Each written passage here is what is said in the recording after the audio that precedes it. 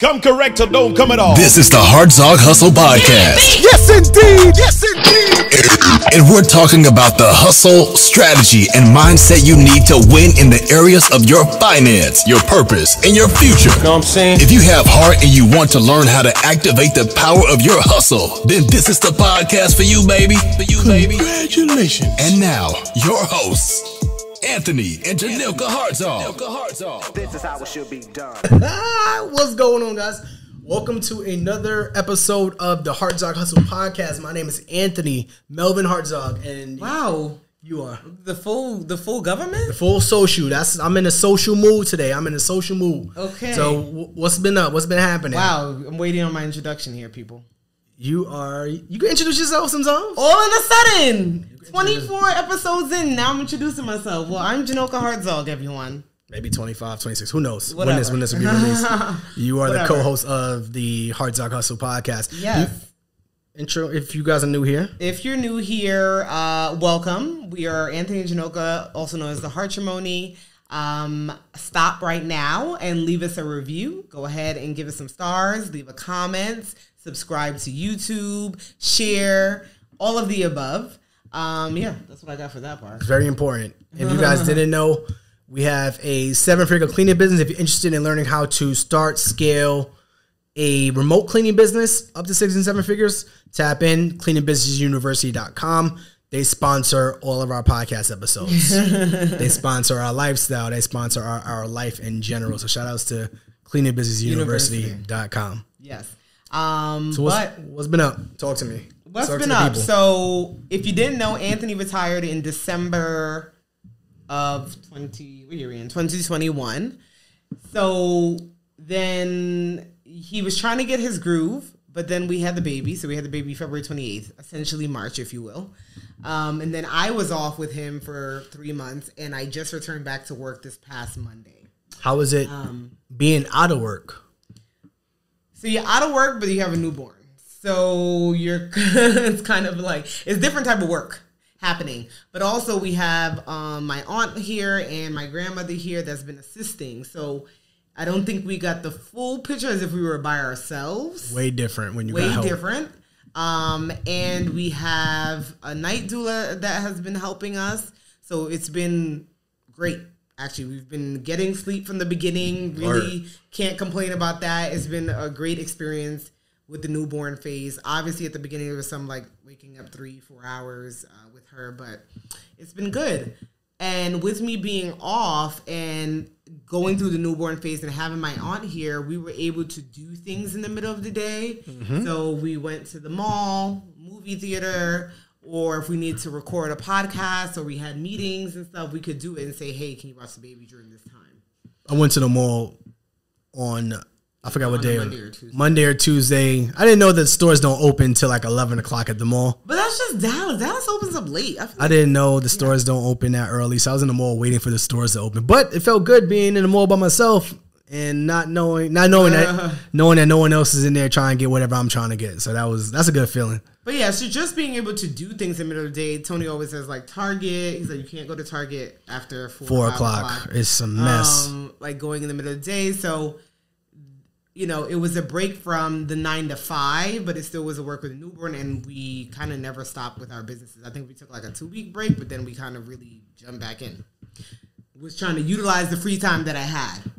Guess so- the time was free. It was different type of free, but it was available. It was different type of free. Yeah. so right now you are back in the saddle, as we would say. The white man paperwork. What- Dr. Umar would say. if you guys didn't know Dr. Umar, he is a uh, Just Google it. the doctor, Dr. Umar, and he says, "Well, you don't need white man paperwork for something." I, I don't know what it was, but people use that for everything. Like you don't need white man paperwork. Um, it's a joke. Don't cancel us for that. so you are back at work. How's that back been? at work. Um, And I'll tell you how it's been what for my me. job, what my job allows is a uh, transition period back to work. So you know you do the forty hours. They allow you to work twenty hours. You get paid for forty. You decide with your manager how you work them twenty hours. So I was like, I'm gonna do 8:30 to 12:30, get off, and um, go about my day. Yep. And that's the first day. IT issues, whatever, whatever. So the first day was a wash. Yeah, first it was a wash, and it's been kind of slow, really. The holiday weekend is coming up, Memorial weekend is coming up, and so I have like the Friday off, the Monday off, so no full groove of things until like next week, Wednesday. Yeah. is when I'll be fully in it. Um, I also have a second job that I knew coming back that I was going to get rid of, um, just because it just takes too much out of me emotionally. So I was like, I'm, I, I know I'm getting rid of it, but now I'm like, So by the time this episode airs, you'll have put in your resignation. For I would have put in the resignation by the time this episode airs. But my thought was, You still got one more job. Yeah, yeah, yeah. So my thought was that they gave me this other job gave me a month for maternity leave, so I would work a month to give them that back and Yep. then leave. But now I'm still gonna do that. But I had planned to submit the resignation two weeks in and then go on. But now it's been day four, and I'm like, I'm submitting it tomorrow on day five, and I'm submitting it tomorrow on day five. So just the conversation. So then I will just have one job. Okay, one one one job, and the com- we've had conversations around what that looks like and how long, if anything, would I stay at this other job. This is a job I've been with for seven years. I think it's gonna be seven years in July that I've been with for like seven years, and so it's like, am I gonna let it go? If I do, when? Yeah. what does that look like for us when it comes to insurance? Because there is insurance out there for entrepreneurs. I know that's the first thing that people say. Well, what are you to do about insurance? Pay for it, basically. yes, it's pricier than if I'm with a job, but I'm an entrepreneur and I can afford that. Um, and then if I leave, what does that mean for us? So we came up with this topic. We're like, the, the question is like, should I retire? So what does Well, before you get into that, you said Sure. you said you said how has it been the first week back? You said you know how it's been for you. So say how it's been for you. So the challenge with us is that we mm-hmm. have multiple businesses and we both run these businesses and yes, I may do most of the work, but a lot of the decision making has to be done by us as a cohesive unit. Mm-hmm. I can't just go and make decisions on my own. So it requires us to be available at some times. And I don't now the problem is you work mm-hmm. eight to five and I work whenever I want to work. Mm-hmm. So I have to wait until like going back to when we first started these these side hustles and businesses after hours. So you worked we worked eight to five, nine to five, and we worked from five to ten on the businesses. Mm-hmm. Now I don't have to wait till after work to work on these businesses, but I have to wait for you mm-hmm. to work on these businesses. I think what happened was because when he retired, we knew that he was the only one retiring. So we knew that I would always be working until five o'clock and he would always have to wait, right? I guess. It's yes. It's not Okay. yes. but I think the taste of the three months that um the three months that I just had off and us doing things together and being able to go there gave you a taste of like what life could be like if I didn't work. And now it's like, oh no, I, I don't want to. I don't want to wait for you after five o'clock. Yeah. Yeah. because if if we if I have eight hours, if I have a full eight hour day to do whatever I want in what order, you could do it in four. I could do it in four. I could do it in three. Mm-hmm. I could do it in one. Yeah. I now have to wait. For an example, we have we have a virtual assistant business. Mm-hmm. So if we could have these meetings during the day, we would have the meetings during the day. But we have to wait until four thirty. We have a person that helps us out with social media and and the podcast and stuff like that. We have to meet with them after five o'clock because it started off because of you. Honestly, I can meet whenever I want. so now even coaching calls, like we had a coaching call today that you couldn't be on, um, which I felt was very impactful because most of the coaching group didn't show up, so we could have had the whole hour to ourselves. But you couldn't show up because you had a meeting during the day. Um, even our other coach that we work with, like we had to, we have three o'clock meetings on Mondays. You can't have the meeting because you got a everyday meeting with your your manager at work. So it hinders us in business and even personal life. Like even with Alani, like since you work now, we have to figure out, all right, your work day is less flexible than mine, and her day in general is just her day in general. You're gonna you're gonna work around. Lonnie's it. world. It's Alani's world. so I got to work around her and your schedule now. Yeah, and fit, and fit my schedule in there somewhere. That happened on the first day of work, or maybe Tuesday. I don't remember. Um, that he had went to the gym. I start work at eight thirty. you never know when Alani's getting up. Definitely don't really, know when she's right? gonna get up. It could be eight, it could be ten. At this point, she's not on the strict schedule yet. She's not even three months yet, so we don't expect that. Um, and she woke up that day, I think like eight oh five, which is like okay. But now you gotta she's she's waking up, you gotta change her, you gotta feed her. And he's at the gym, and I'm like, "You're gonna be back by eight thirty, right? Because I start working at eight thirty. Yeah, He's like, "Oh yeah, I'm I'm, I'm moving a little faster now." I definitely had to move fast. It was like eight fifteen or something like that. Definitely had to move fast. and it's like, oh yeah, we still have my aunt here, so she can help. But she was already like making breakfast, so you know what I mean. It's kind of like she's already doing some of that. So at that point, I'm like, all right, Alana, you coming to work with me? Just come on. We scooting upstairs, um, going to work, putting the keyboard in, you know, and so figuring out that way. What are you doing? I'm taking off this Essentia. I had been said that. Yo, we don't get sponsored by them until they sponsor us. Not a. I know I love I know I love their water, but nah. Not a dime a nickel. I'm gonna have to remember that every time though. Yeah. Every time. Now what do I do with this? Yo, You know what's the best thing about being in It's like ASMR for people. ASMR? Best thing about podcasting at home is that I can do what I want. okay. so yes, you have this. You have to schedule. I have to schedule my life around you and Yeah. Alani, and and it's been moment. it's been a challenge. So with you going back to your job, Mm-hmm. I feel like well now we have to schedule. You have two jobs. You're going to leave one, which is fantastic. But now figuring out, all right, are you going to leave the other? The biggest hindrance is the insurance. So we're speaking to um we're speaking to our insurance agents, and they're gonna get us some quotes on what insurance companies that they recommend for entrepreneurs. That was is that the biggest thing for you, insurance? That's not that- what I could use as a crutch right now is the biggest thing. So we- we're pretty much focused on insurance, and once insurance comes, you could dip. So, but also you being at your job for so long, do you feel like that's still like your identity still rolls with that job at some point too? I don't think it's the job. I think it's the title. The role? No, the role. Um, because but then it, it, it so if you don't know, I'm a mental health therapist, right? So it's like I got my master's for this, got my um I got my master's for this. I paid sixty eight thousand dollars plus in loans for this. Definitely did. Uh, we're debt free, so we don't have any loans. Um, well, no student loans. Got a house. Um, so I did all of that, and so to let go of that feels like was it for nothing? But I'm licensed in New York and Texas, and you would always need therapists. The same way you always need doctors and nurses, you're always going to need therapists. So I can always work again or work in a contractor role. Like I already know a company that I can work in a contractor role if I need, if I want that urge to do that type of work. So I don't think I'm attached to the company anymore as much as I was versus just the thought of like, what am I gonna do if I'm not working the nine to five? But even though I saw the life, like for those three months, it felt good, whatever the case may be. So then it became the conversation. We had this conversation today where it's like, okay, if you're not working, then are we not going to hire because we hired a nanny? Are we not going to hire the nanny? I'm like, absolutely, we will hire that nanny. yeah. Absolutely. I I don't I've never communicated that I just want to be full time at home with Alani. Um, Full time mom.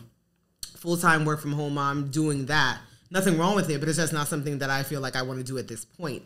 And I don't think because you hire a nanny, that mean doesn't mean you're a full time mom. Yeah, that's true. Not mom. I mean, like working with, like being with her. If obviously I'm a mom. That doesn't I mean, you take off two hours, does that make you part time? right. Exact. Exactly. Right. Um. But I still want her to have those opportunities because we do still have businesses. So because I'm not working a nine to five doesn't mean I'm not doing anything.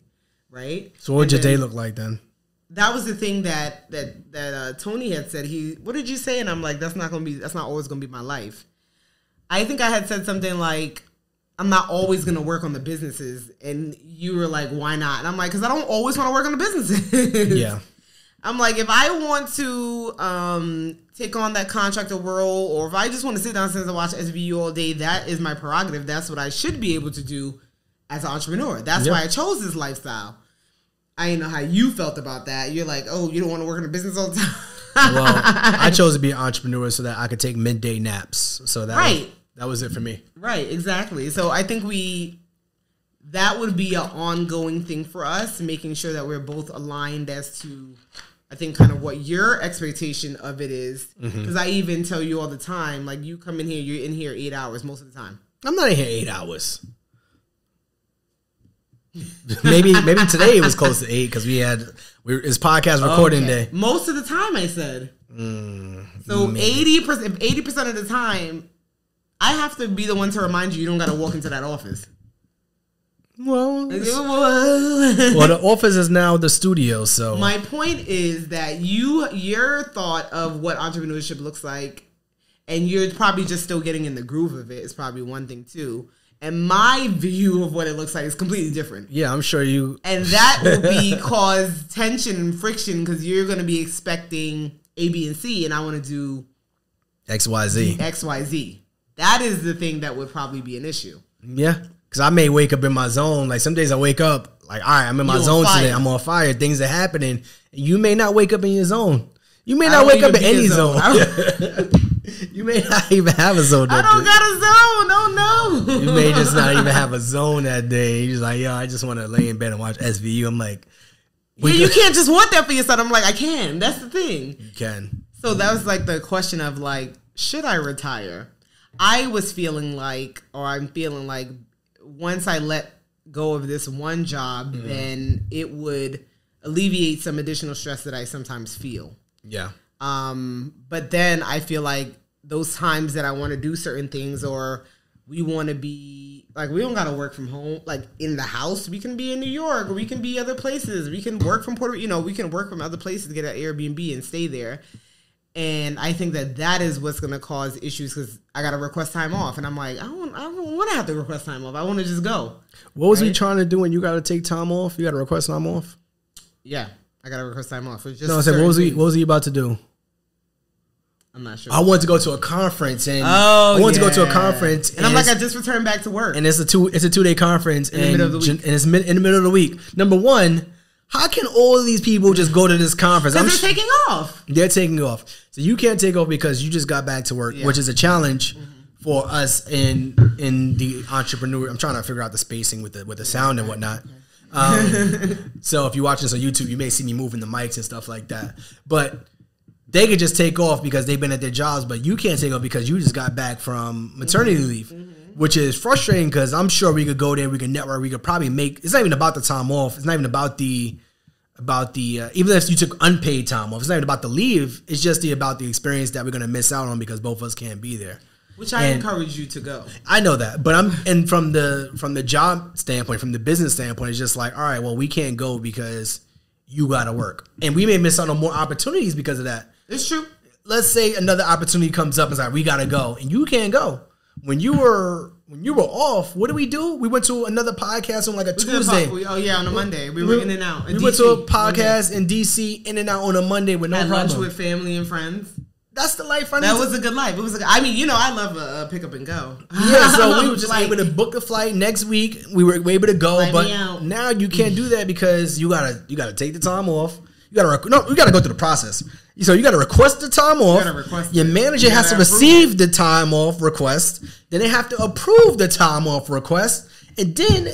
That's if they approve it. If they don't approve it, what happens now? Are you one of those people that say, "Well, I was going to leave anyway. It's already booked." so I've never had a vacation not approved, if now you back and they miss you, they may start. so I don't know that. that They may feeling. start denying those requests. Now, well, you just came back from a three month leave, especially if she didn't have a baby. She may, she may have assumed that it may be an easier time to The be funny off. thing about it is that my manager didn't expect me to come back. There's a Remember I reason kept for that. She kept saying to me, "If you decide not to come back, it's okay. If you There's decide re- that you want to stay with your family, it's okay." And I'm like, "I'm gonna come back. I'm coming back." Well, there's a reason that they they said that they might have listened to this podcast or saw you, or saw you on Good Morning America or something like that. Not good boy. So now the question is, if they deny your leave, are you gonna be one of those people that's like, well, I'm taking, I was taking leave, I already booked it, I'm actually already there, so I actually technically can't. I feel that way because I just feel like what would be the reason that I would be getting denied? There Yeah. was, but it would be no like. There's no reason that I would get denied. I mean, Yeah. it's not like I'm not doing my work. You know what I mean? Like, what is the reason that my my request is being denied? So Because they want to. That's what I mean, jobs do. I mean, that's sometimes very true, but sometimes they're like, yo, you- I'm not in the mood for you to go on leave. I I'm want not you, in the mood for you I to want you to be here with me. So that may be a reason why they just deny your leave. So that's one of the challenges that we face right now with you being at your job. And everyone in every coaching personal aspect is asking like, why is Jhanilka still at her are job? you still there? why are you still at your job? Why am I still there? And then it's like, well, go ahead. No, at one point I had said that it was part of my identity. I definitely was like, it's part of my identity. But I think being off for those three months, even though it was, you know, during the transition with having Alani and coming back and it's only the first week, I'm like, what am I doing here? Exactly. You got to figure it even out. Even though like i mean our money has grown meaning like our businesses have done better eh, kind of basically since we've had her but i was still in a position to leave before her technically um but now especially it's like time is precious with her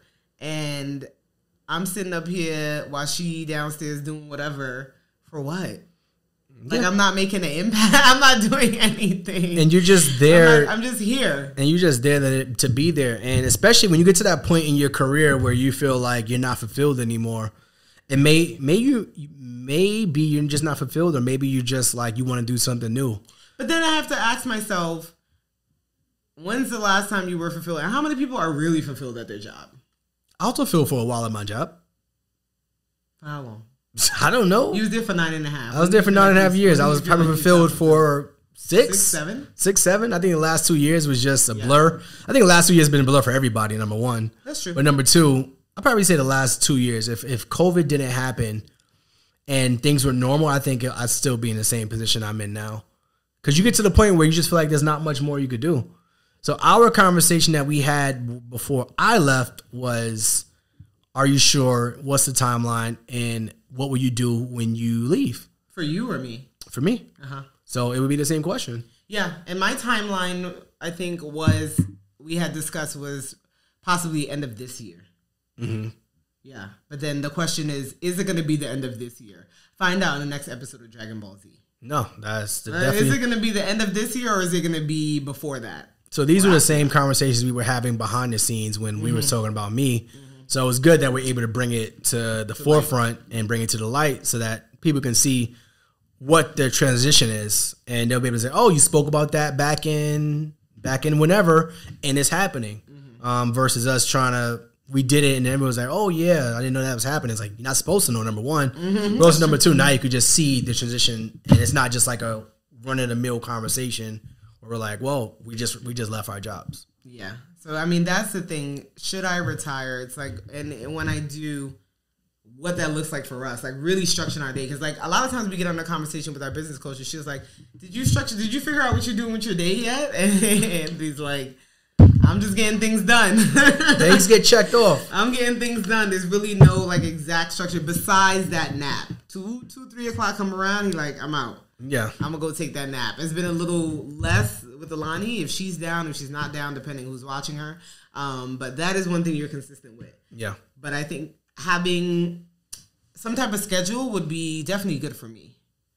Of whatever that is, if that's making sure the gym is before twelve o'clock, if that's taking her to music class, if that's you know all those things. You keep talking about this music class like like you're musically inclined and you won't I pass don't need it, to be musically. you inclined. pass off those jeans to her. No, you take the kids and they just like bang the stuff. They bang.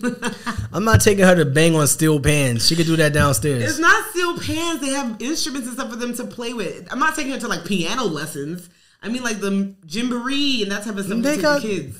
Listen, when I was in high school, let me show you my gym. We high had school. I'm talking about a newborn. You talking about high school? we had we had music class in high school. Um, I went to a musical school. I had musical class in high school. I didn't go, but at lunchtime, I was on that table. Is that the beat? Do you guys know what beat he's trying to do? I was on that table during lunch, if banging don't know the beat, you shouldn't be listening. banging out the beats on the table. So I got a little bit of musical genes in Okay, me. whatever. So if Alani's gonna My get that. My point is That's swimming important. lessons, this, that, anything Yeah. that we want her to be doing. so right now, if that's the case, I'd have to take her, or the nanny have to take her, or it has to wait till after five o'clock. exactly. That is not ideal for anyone's lifestyle to have to wait to enjoy your entire day. It's ideal for some people's lives. That's not ideal for the Hartzog household. No, definitely not. That's what that's what you mean. So we gotta figure we gotta figure out what that looks like, what your day looks like, what the timeline is, what the plan is, and everything revolves around this insurance, this mystical insurance. I don't know what this is about, but everyone gets so afraid of insurance as it's like it's like the big scary thing. Like I can't leave my job because what happens with insurance? Okay, yes, insurance may be hard to come by by some people, some states, some countries, whatever it may be. But that can't be the only thing holding people back from leaving their job. The first thing they ask, what you gonna do about insurance? Yeah, because people get sick. The reason probably you're probably not thinking like that because you're a young Young strapper. young strapper, young strapper, and you are healthy and well, so you're not thinking longevity. But if someone is 45 or 50, that's a big deal. But even in general, you never know what will happen with us. So insurance is a big deal, but I agree that it shouldn't um, hold us back from moving forward. Yeah. So we get the insurance figured out. And at the end of the day, we got our businesses, so we'd be focusing on that. And then maybe And the growth of that, and we know that too. Yeah, and then maybe you find something that you enjoy doing outside of our businesses that's like exciting for you. I don't know what that would be. What would that be? What do you think? I have no idea. I enjoy working out. All right, that can't be the only thing that you do outside of our businesses. Because the business I enjoy doing, so I can't say that's the same thing for you. I enjoy working out and then spending time with Alani. Um, as she grows, it's gonna be different things or different things happening. So I can't say exactly what I said, what do you enjoy? It has nothing to do with Alani. that is. I enjoy being with her, What is something that you enjoy personally for yourself outside of Alani? working out, So you traveling. maybe you'll find some hobbies. Okay, maybe you start traveling on your own. Maybe you start doing like some solo trips, something like that. Wow, you let me you let me solo to travel? There was a thread on I'm not that. a solo travel person. there was a thread on that on social media about Everybody should do it. they said, "Oh, would you allow your woman to solo travel?" Absolutely not. Why would you solo travel?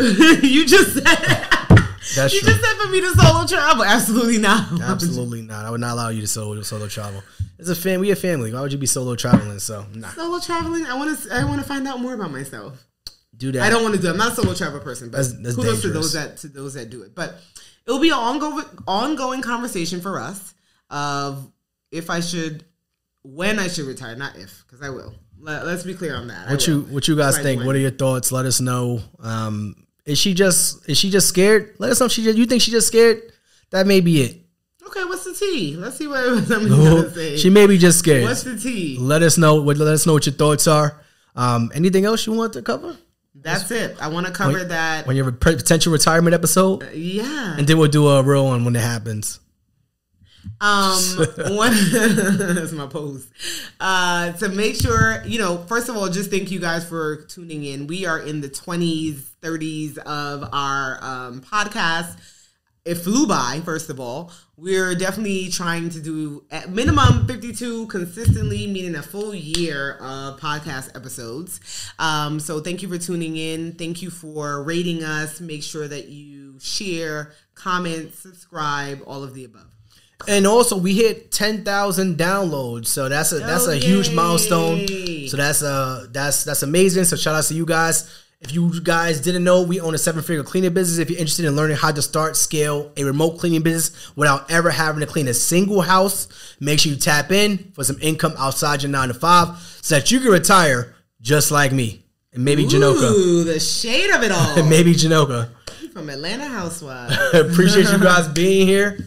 Peace. Thank you. This has been an episode of the Hartzog Hustle Podcast. We hope you enjoyed.